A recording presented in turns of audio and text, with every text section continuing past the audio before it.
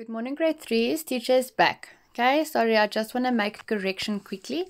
Activity 45 is going to be for Monday. Okay, and then activity 46, I would like you to only do on Thursday. Okay, so you can do it Thursday and Friday. Okay, because I want you to read the story The Bee's Knees the whole week first, okay, so that you know what to write about.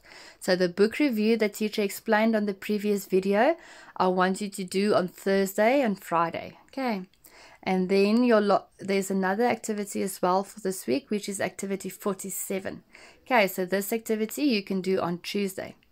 And then Wednesday you can focus on or you can plan your book review. Okay, so for Wednesday, you can plan what you want to write about, and then Thursday and Friday, you write it in your workbook. So you can first practice the book review in your English line book that you have, your English writing. Then you can practice it in there. If there's any changes that you need to make, if you're unsure about the spelling of a word, ask mommy or daddy to help you find the correct spelling or use a dictionary.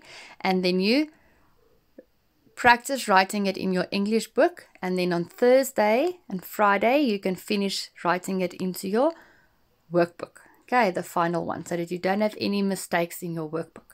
Okay, so for activity 47 is again the same as what you did for activity 45, and you can do this one on Tuesday. Copy the words in cursive, make a sentence with one of the words, and write it on the lines below the words.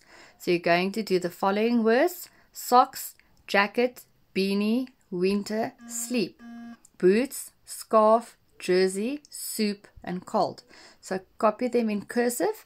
Then you're going to choose one word and write a sentence also in cursive on the lines below. Remember, a sentence starts with a capital letter and ends with a full stop. Okay, so remember that the book review for Wednesday, you can practice writing the book review in your English writing lines book. Okay, make any changes that you would like on there.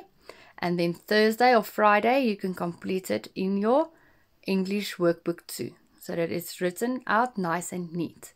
Okay, mommy and daddy can help you to to explain to you how to write the book review. Remember, you have to write the title and the author. And then you need to give a short summary what the story is about give your favorite parts of the story and why you would recommend the story to your friends. And then at the bottom, you write reviewed by and you write your name. Okay, love you. Good luck. Bye.